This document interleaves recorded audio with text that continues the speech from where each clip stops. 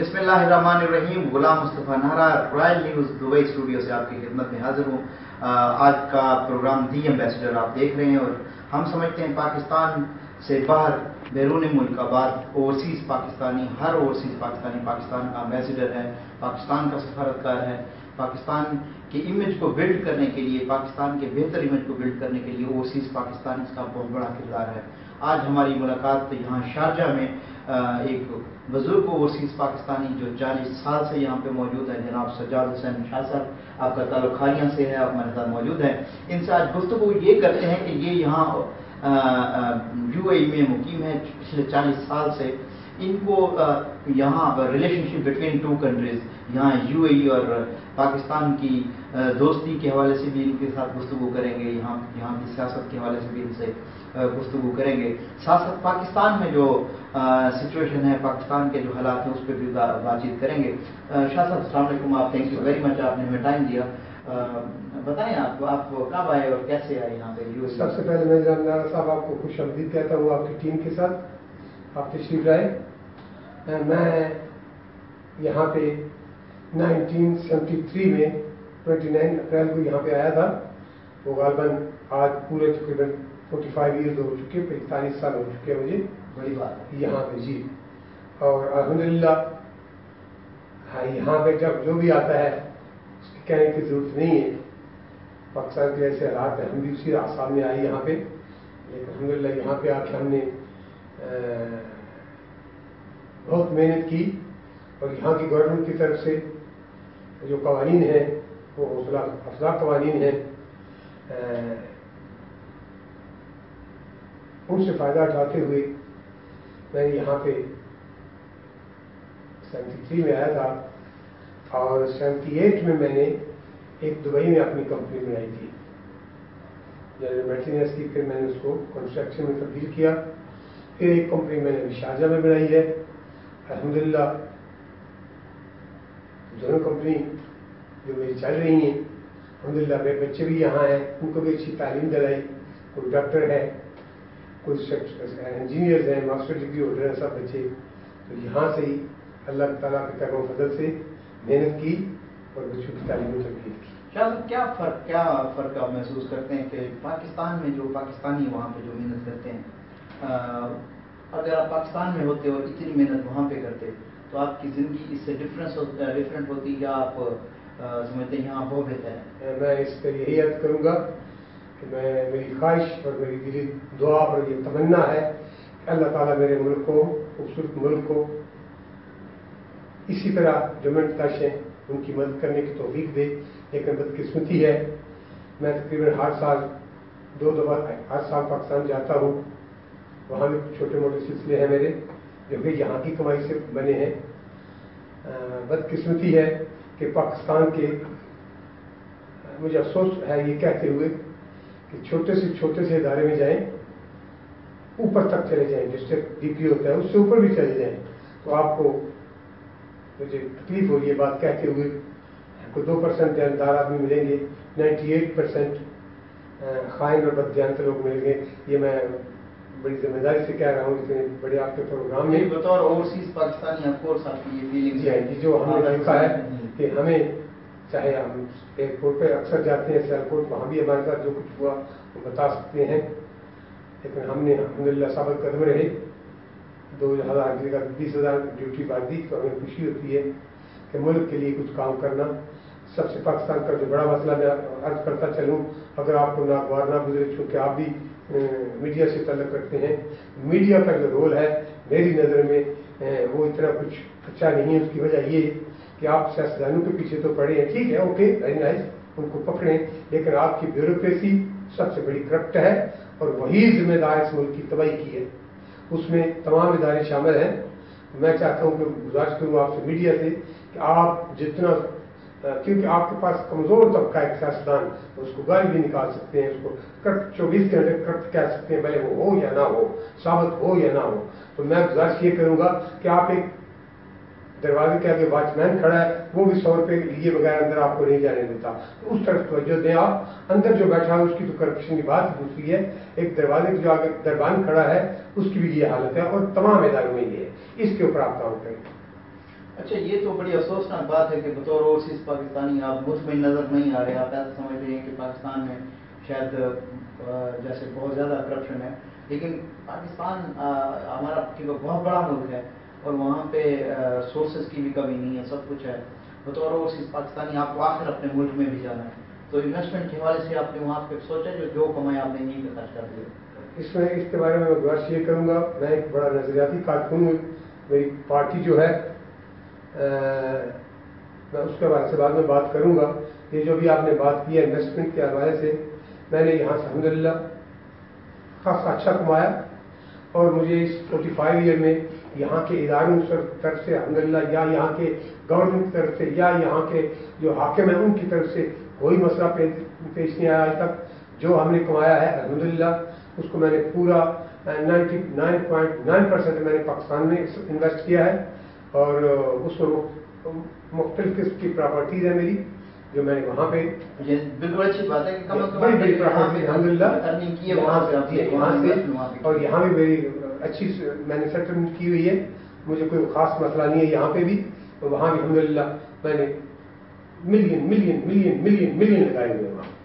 ماشاء اللہ شاہ صاحب سیاست پہ تو ہم بات کریں گے لیکن میں یہ چاہ رہا ہوں کہ ہم پہلے پاکستان کی انویسٹمنٹ کے حوالے سے یا پاکستان میں جو اوورسیز پاکستانی ہیں وہ کیا سوچتے ہیں پاکستان کے حوالے سے؟ میں وہ ڈسکشن پہلے کرنا چاہ رہا ہوں۔ آپ آپ کے اور بھی بہت سارے کولیگز ہوں گے بہت سارے دوست ہوں گے کیونکہ آپ پینتالیس سال سے یہاں پہ ہیں۔ تو پاکستانی جو یہاں پہ خاص طور پہ یو ای میں گلف ریجن میں یہاں پہ محنت کر رہے ہیں مزدوری سے وہ اپنی زندگی کو اوپر لے کے آتے ہیں پروگرس کرتے ہیں۔ ان کا کیا خیال ہے کہ انویسٹمنٹ پاکستان میں کتنی اور کس مناسبت سے کرنی چاہیے؟ یہاں صاحب دو طبقات ہیں، دنیا میں دو طبقات ہوتے ہیں۔ ایک وہ لوگ ہوتے ہیں جو اپنے من و دھن سے اپنے ملکوں سے محبت کرتے ہیں۔ اور ایک وہ لوگ ہوتے ہیں جو خاص کر اپنے مفاد اور اپنی پراپرٹی کو سنبھالتے ہیں یا اپنی دولت کو بچاتے ہیں۔ میں ان لوگوں میں سے ہوں جو میں اپنے ملک کو ترجیح دیتا ہوں میرا بہت خوبصورت ملک ہے، بہت اتنی تعریف کر، میں کر سکتا ہوں جس کی کہ نہ کرنے کے برابر ہوں۔ لیکن مجھے پھر وہی افسوس سے کہنا پڑے گا کہ انویسٹمنٹ کے حوالے سے آپ کے ادارے قطن پابند نہیں کرتے آپ سے، جو بس انویسٹمنٹ کرنا چاہتے ہیں۔ مثال کے طور پہ میں گزشتہ، میں نے آپ سے ذکر کیا تھا before four year three years کی گوادر کے حوالے سے۔ تو آپ نے مجھے کہا تھا کہ ابھی انہوں نے اسٹاف کیا ہوا ہے، کچھ نئی پلاننگ ہو رہی ہے، نئی، اس پہ کچھ کر رہے ہیں ڈیزائننگ کر رہے ہیں، تو مجھے خوشی ہے اگر اس کی ڈیزائننگ اچھی ہو یا ہو، لیکن وہ خاموشی ہے دو ڈھائی سال سے۔ میں چاہ رہا تھا وہاں سے، وہاں کم سے کم کوئی نہ کوئی چھوٹی سی انڈسٹری لگاؤں۔ زیادہ نہیں کچھ کم بیش پچاس، سو ملین روپیز میں خرچ کر سکتا تھا وہاں پہ۔ لیکن وہ ابھی تین سال سے ہم دیکھ رہے ہیں کہ وہ پینڈنگ ہے۔ میں یہ خواہش کروں گا کہ وہ بڑا اچھا پروجیکٹ ہے۔ چین ہمارا بہت مہربان اور محسن ملک ہے۔ میں پوری سپورٹ کرتا ہوں اس کی۔ آگے چل کر سیاست میں اس کی بات کریں گے۔ میں یہ چاہتا ہوں کہ وہاں جتنی پلاٹنگ ہوئی ہے، ان کو اناؤنس کیا جائے، ان کو پبلک کو بتایا جائے۔ ہم جو باہر بیٹھے ہوئے ہیں الحمد کم سے کم دو چار دس پلاٹ لے سکتے ہیں وہاں پہ اپنے بزنس کے لیے۔ کوئی شیڈ بنائے، کوئی کارخانہ لگائے، کوئی بلاک فیکٹری لگائے۔ یہی میری فیلڈ ہے چونکہ میں اسی میں دلچسپی رکھتا ہوں۔ میری یہ خواہش ہے کہ گورنمنٹ پاکستان اس پالیسی کو اوپن کرے اور وہاں پلاٹنگ اچھی کر کے ان کا ٹرانسفر کا انتظام بہترین کرے۔ ہم انویسٹ کرنے کے لیے تیار دو چار دس پلاٹ۔ میں بھی لے سکتا ہوں۔ میں بھی کچھ چھوٹی موٹی سو ملین دس ملین پچاس ملین کی انڈسٹری وہاں لگا سکتا ہوں۔ بالکل، یہ تو بہت خوشی والی بات ہے کہ اوورسیز پاکستانی خاص طور پہ آپ جیسے محب وطن جو ہے وہ پاکستان میں خاص طور پہ گوادر میں بہت دلچسپی رکھتے ہیں وہ وہاں پہ انویسٹمنٹ کرنا چاہتے ہیں۔ آپ نے بھی اپنی خواہش کا اظہار کیا اور امید ہے حکومت حکومت پاکستان کے جو ذمہ دار افسران ہیں وہ ضرور اس کو دیکھیں گے۔ خاص طور پہ میں بات کروں گا گوادر کے جو چیئرمین اس وقت ہیں دوستین خان جمال دینی ان سے کئی دفعہ اس حوالے سے گفتگو ہوئی ہے۔ کوشش کریں گے کہ انہیں ہم یہاں پہ بلائیں اور کوئی پریزنٹیشن ہم دلوا دیں گوادر کی۔ ایسے ہی پاکستان کا ایک پروجیکٹ ہے ایمرجنگ پاکستان جو منسٹری آف کامرس کر رہی ہے۔ پاکستان کی امیج کو بلڈ کرنے کے لیے ہم بطور اوورسیز پاکستانی ان چالیس سالوں میں آپ کی کیا ایفرٹ ہے؟ میں گزارش یہ کروں گا، میں ایک بڑا صاف گو آدمی ہوں۔ جو صاف گو آدمی ہوتا ہے، اس میں کچھ ترس باتیں کرنی پڑتی ہیں۔ تو چاہیے میڈیا کو یا سامعین کو وہ ترس باتوں پہ غور و فکر کریں کہ وہ حقیقت کی کتنی سی قریب ہیں۔ پاکستان بننے کے بعد کمرش پندرہ بیس سال تک ہماری جو بیوروکریسی تھی یا صاحب اقدار لوگ تھے، وہ کسی دوسرے نظام کے پڑھے لکھے تھے۔ اس کو آپ برٹش نظام کہہ رہے ہیں کوئی بھی کہہ رہے ہیں۔ تو میں دیکھتا ہوں کہ دینداری کی اس زمانے میں انتہا تھی۔ کرپشن کا لفظ سنا بھی نہیں تھا۔ اگر کچھ ہوگا تو دو پرسنٹ چار پرسنٹ ہوگا۔ کیونکہ وہ لوگ تعلیم یافتہ تھے۔ ہندوستان حکومت کے تعلیم یافتہ تھے یا اس کے نظام کے تحت انہوں نے تعلیم حاصل کی تھی تو وہ ٹو دا پوائنٹ کام کرتے تھے پر تک لوگ تھے۔ بدقسمتی سے جب ہمارا نظام تعلیم شروع ہوا، سب سے بڑی ہم نے داغ بے رکھی کرپشن کی کیا؟ چاچا، ماما، بابا، ان کو ہم نے وداؤٹ کیا کہتے ہیں اس کو؟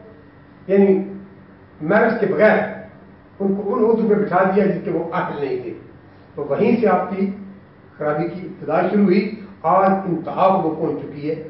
نا یہاں تک آپ نے پڑھا سنا ہوگا کہ میٹرک پاس پی آئی اے کا جہاز چلا رہا ہے۔ اس سے بڑی بدقسمتی اور ان کی کیا ہو سکتی ہے؟ اس کا جو ہیڈ ہے، اس کا بیان آیا بفور تھری ایئر فور کی بات کر رہا ہوں فائیو ایٹ سکس ایٹ اس نے کہا کیا ہوا؟ تو جہاز تو چلا رہا ہے۔ یہ حالت ہے آپ کی قوم کی؟ یہ حالت ہے آپ کے ذمہ داران کی۔ جس قوم کے ایسے ذمہ داران ہوں، ایسے قوم کے رہنما ہوں آپ توقع نہیں رکھ سکتے کہ وہ کون پابی لے کے جائیں اچھا چلیں ہم اوورسیز پاکستانی بطور اوورسیز پاکستانی بات کریں یہاں پہ ہماری کانسلیٹ بھی ہے ہماری امبیسی بھی ہے اور ہم جتنا مرضی اوائڈ کریں اس کیونکہ بطور پاکستانی ہم نہ بھی ذکر کرنا چاہیں تو ہمارا ذکر کرنا بنتا ہے کیونکہ ہمارے ذمہ داران ہیڈ آف ڈپارٹمنٹ یہاں پہ کانسلیٹ اور امبیسی بھی ہے تو آپ ان سے کتنے مطمئن ہیں بس کی دیکھیے، ہمارے ادارے جو ہے ہم ان کا احترام کرتے ہیں، ہمیں کرنا بھی چاہیے یہ تو بڑی ضروری بات ہے، ہمارے کنسولیٹ ہے یہاں پہ۔ ہم بہت ان کا احترام کرتے ہیں انتہائی احترام کرتے ہیں۔ جب ہم کسی مسئلے پہ جاتے ہیں، وہ پورا پورا قابو کرتے ہیں، اس میں کوئی شک شبہ نہیں ہے۔ اکثر میں وہ کوشش کرتے ہیں کہ ہر سال سے تعاون کیا جائے۔ البتہ ایک بات ہے، تعاون کیا تک ہے؟ تو باقی وہ ٹوئنٹی تھری کا دن منا لیتے ہیں، چودہ اگست کا منا لیتے ہیں۔ تو یہی ان سب پاکستان کی دنیا بھر میں جو سورت خانے ان کی یہی وقت کاری آپ کے پاکستان کے جہاں یہاں عوام ہے یا دنیا میں کہیں بھی ہیں دنیا کا اگر ایک سو چونسٹھ ملک ہے تو آپ کی ویلیو ایک سو چونسٹھ ہی ہوگی ایک سو تریسٹھ کی ویلیو آپ سے بہتر ہے۔ تو اس میں سب سے رول آپ کے ساتھ مانو بھی ہونا چاہیے۔ تو آپ ان کی کارکردگی کا اندازہ اسی بات سے لگا سکتے ہیں۔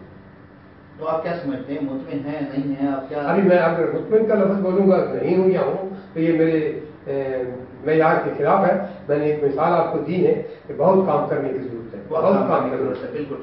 اچھا آپ کیونکہ چالیس سال سے یہاں بزنس میں ہیں اور یہاں سفارتکاری کی اگر بات کریں تو یہاں ہمارا ڈیڈیکیٹڈ دونوں امبیسی میں بھی اور کونسلیٹ میں بھی کمرشل کونسلیٹ تو ہمارا ہے۔ اگر ہم انویسٹمنٹ کی بات کریں تو انویسٹمنٹ کے حوالے سے بھی سیمینارز یہاں ہو سکتے ہیں۔ اگر اویئرنیس کی بات کریں تو وہ بھی سیمینار ہو سکتے ہیں۔ کبھی کوئی سیمینار آپ نے اٹینڈ کیا کوئی؟ میں اس میں یہ گزارش کروں گا نار صاحب، میرے بہت قابل احترام ہے میرے کنسولیٹ کوئی بھی ہو، پرانے ہو یا نئے ہو یا حالیہ ہو امبیسڈر ہو، لیکن آج دن تک انہوں نے باقاعدہ پلان نہیں بنایا کہ یہاں پہ جو قدیم لوگ ہیں، بیٹھے ہوئے چالیس، پچاس سال سے، چلو میں نہ صحیح کچھ اور ہوں گے جن کے پاس ملین ملین پڑے ہوں گے۔ ان کو بلائیں، ان سے بشرا کریں، بھائی آپ کیا چاہتے ہیں؟ آپ کی کچھ رائے دیں۔ تو پھر جیسے میں آپ سے گزارشات کر رہا ہوں، ہم جیسے بہت سے دوست ہیں جو ان سے گزارشات کریں، جناب ہماری یہ خواہش ہے، اپنے ملک کے لیے ہم یہ کر سکتے ہیں، ہمیں یہ یہ سہولیات چاہیے۔ اگر وہ کوشش کریں آپ، وہاں پرووائڈ کریں، ہم لوگ یہاں کاروبار کچھ نہیں چھوڑ سکتے۔ البتہ یہ کر سکتے ہیں، کچھ نہ کچھ وہاں بھی ہم انویسٹ کر کے اپنا کاروبار کر سکتے ہیں۔ بالکل۔ کہنے کا مقصد یہ کہ ہمیں بہت ساری اویئرنیس کی ضرورت ہے، ہمیں کام کرنے کی ضرورت ہے۔ بات ہم کر رہے ہیں پاکستانی کونسلیٹ اور پاکستانی امبیسی کے حوالے سے، ان کے رول پہ۔ اور خاص طور پہ یہاں جو اوورسیز پاکستانی کمیونٹی ہے، وہ کتنا ایکسپیکٹیشن رکھتی ہے پاکستانی کانسولیٹ اور پاکستانی امبیسی سے۔ شاہ صاحب سے بات جاری ہے۔ ایک چھوٹا سا وقفہ وقفہ لے کے ان سے بات کرتے ہیں پاکستان کی سیاست پہ، کہ پاکستان کی سیاست پہ ان کی کتنی نظر ہے۔ ملتے ہیں ایک چھوٹی سی بریک کے بعد۔ Amen.